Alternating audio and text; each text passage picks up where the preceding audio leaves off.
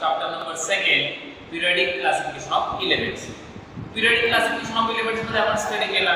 सर्वात पहिल्यांदा आपण matter type of matter state of matter नंतर atom elements mixture compound Mendeleev period table Newlands laws of octaves कोबेलाइटेड triads नंतर Henry मोस्लेचा modern period table इथपर्यंत आपण स्टडी केला. पिरियड टेबलमध्ये वेगवेगळे ट्रेस बद्दल काय सांगता येईल आपल्याला? बरोबर? त्यामध्ये बॅलेन्सिंग ॲटॉमिक साईज याबद्दल आपण या टॉपिकबद्दल आज डिस्कस करूया.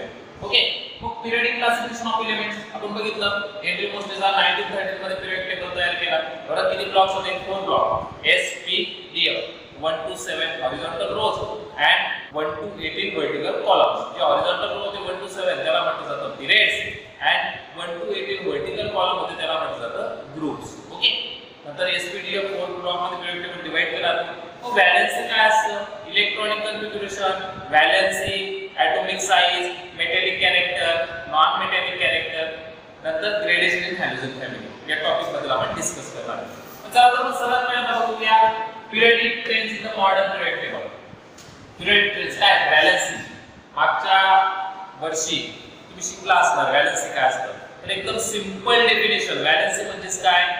The combining capacity of element to other element एखाद्या इलेमेंटची दुसऱ्या इलेमेंट सोबत कंबाईन होण्याची कॅपॅसिटी कळतंय एखादा एलिमेंट काय करतो दुसऱ्या एलिमेंट सोबत कंबाईन करण्यासाठी किती इलेक्ट्रॉन लागतात? किती इलेक्ट्रॉन देतो किंवा इलेक्ट्रॉन घेतो? तर combining capacity of element to other element एखाद्या इलेमेंटची दुसऱ्या इलेमेंट सोबत कंबाईन होण्याची कॅपॅसिटी म्हणजेच काय? बॅलन्स येते लक्षात? The capacity of element the capacity of element to combine other element येते लक्षात of combining the capacity of element to combine other एखाद्या एलिमेंटची कॅपॅसिटी दुसऱ्या एलिमेंट सोबत कंबाईन होण्याची. त्याला म्हणलं जातं बॅलन्स आपण बघू व्हॅलेन्सी काय असतं फॉर एक्झाम्पल फॉर एक्झाम्पल आपण सोडियम घेतला. काय? सोडियम ओके सोडियम घेतला. फोर टाईपचे सेल असतात. A N M N okay प्रत्येक सेलची कॅपॅसिटी आपल्याला माहीत असते. प्रत्येक सेलची कॅपॅसिटी माहिती आहे. टू एट एटीन ओके सोडियमचा ॲटॉमिक नंबर इलेव्हन काय? इलेव्हन इलेक्ट्रॉन कसे फिल होतात? पहिल्या सेलमध्ये टू दुसऱ्या सेलमध्ये एट किती झाले? दहा. उरला एट लास्ट सेलमध्ये ओके लास्ट सेलमध्ये किती इलेक्ट्रॉन आहेत? एक. लास्ट सेलमध्ये प्रेझेंट असणारे इलेक्ट्रॉन म्हणजे काय? बॅलन्स इलेक्ट्रॉन लास्ट सेल म्हणूया किंवा पावडर सेल म्हणतो आपण त्याला. लास्ट सेल मध्ये प्रेझेंट इलेक्ट्रॉन किती? आहे वन किती? आहे 1 म्हणजे त्याच्याकडे व्हॅलेन्स इलेक्ट्रॉन किती? आहे वन मग व्हॅलेन्स काय असतं? आता त्याला प्रत्येक इलेमेंटला काय करायचं असतं? स्टेबल व्हायचं असतं. म्हणजे काय? ऑक्टेट कंप्लीट करायचं असतं. इनट घ्यायचे असतात म्हणजेच काय? केमिकली इनर्ट त्याचं ऑक्टेट ऑलरेडी कंप्लीट असतं. मग प्रत्येक इलेमेंट काय करतो? ऑक्टेट कंप्लीट करण्याचा प्रयत्न करतो. एक तर तो इलेक्ट्रॉन डोनेट करतो किंवा इलेक्ट्रॉन ऍक्सेप्ट करतो. आपण बघू. सोडियममध्ये किती इलेक्ट्रॉन आहे? लास्टमध्ये वन इलेक्ट्रॉन किती इलेक्ट्रॉन आहे? वन वन इलेक्ट्रॉन असल्यामुळे तो काय करेल त्याला एट इलेक्ट्रॉन कंप्लीट करायचे समजा क्लोरीन घेतलं. क्लोरीनचा ऍटॉमिक नंबर 17 किती आहे? 17 क्लोरीन मध्ये 17 इलेक्ट्रॉन आहे. पहिल्या सेल मध्ये टू इलेक्ट्रॉन दुसऱ्या सेल मध्ये एट इलेक्ट्रॉन तिसऱ्या सेल मध्ये सेव्हन इलेक्ट्रॉन ओके क्लोरीनला ऑक्टेट कंप्लीट करण्यासाठी एक इलेक्ट्रॉन लागतो. किती इलेक्ट्रॉन लागतो? एक. सोडियमला ऑक्टेट कंप्लीट करण्यासाठी किती इलेक्ट्रॉन लागतात? सेवन. याला सेवन इलेक्ट्रॉन पाहिजे सोडियमला? याला एक इलेक्ट्रॉन पाहिजे. मग दोघं काय करतात? इलेक्ट्रॉन डोनेट करतात. मेटलची टेंडन्सी असते. मेटलची टेंडन्सी असते. मेटल काय करतात? इझिली इलेक्ट्रॉन लूज करतात. इलेक्ट्रॉन डोनेट करतात. आलं लक्षात? इझिली इलेक्ट्रॉन डोनेट करतात. हा सोडियम काय करतो? याला एक इलेक्ट्रॉन कमी टाकतो बरं क्लोरीनला किती इलेक्ट्रॉन कमी पडतायत? एक. ऑक्टेट कंप्लीट करण्यासाठी ऑक्टेट म्हणजे एक इलेक्ट्रॉन. ऑक्टेट कंप्लीट करण्यासाठी एक इलेक्ट्रॉन कमी पडतोय तो एक इलेक्ट्रॉन ऍक्सेप्ट करतो. नॉन मेटल जनरली काय करतात? इलेक्ट्रॉन ऍक्सेप्ट करतात. ओके आणि काय म्हणतो मग मेटलने इलेक्ट्रॉन दिलेला आहे म्हणून पॉझिटिव्ह चार्ज येतो. एने प्लस आपण कोणाला पैसे देतो? बरं की नाही? पैसे दिल्यानंतर काय आपल्याला ते आपल्याला चांगलं वाटतं की नाही? म्हणजे आपण ज्यावेळेस पैसे देतो आणि घेणारा जो असतो बिचारा त्याला काही गरज असते म्हणून तो पैसे घेतो. बरोबर की नाही? देणारा मोठा असतो नेहमी.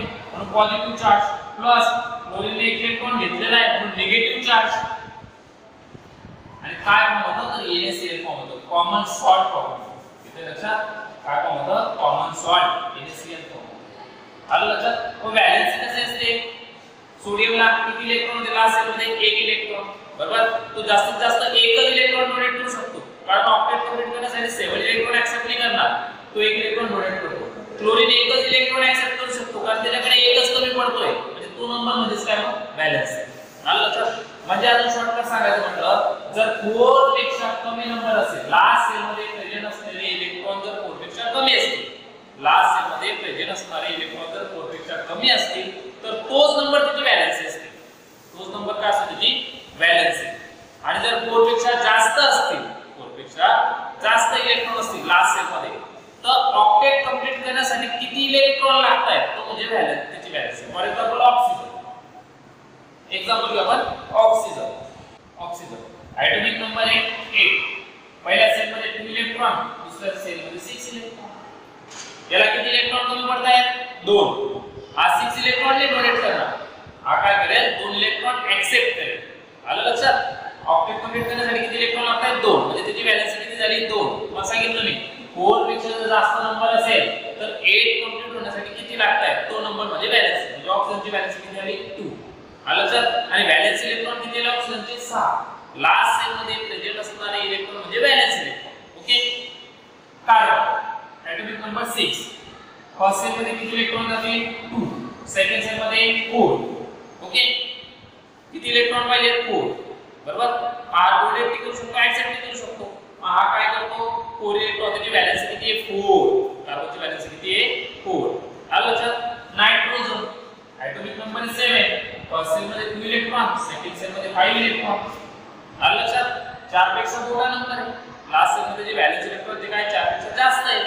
चारपेक्षा जास्त असल्यामुळे चारपेक्षा जास्त असल्यामुळे ऑक्टेट कंप्लीट करण्यासाठी आठ होण्यासाठी किती इलेक्ट्रॉन लागतायत तर तीन इलेक्ट्रॉन लागतात म्हणून नायट्रोजनची व्हॅलेन्स किती? थ्री कळालं valence the combining capacity of element to other element एखाद्या इलेमेंटची एखाद्या इलेमेंटची दुसऱ्या इलेमेंट सोबत कंबाईन होण्याची जी काही कॅपॅसिटी असते. तिला म्हटलं जातं व्हॅलेन्सी मला वाटतं तुम्हाला व्हॅलेन्सी कळलं असेल. ओके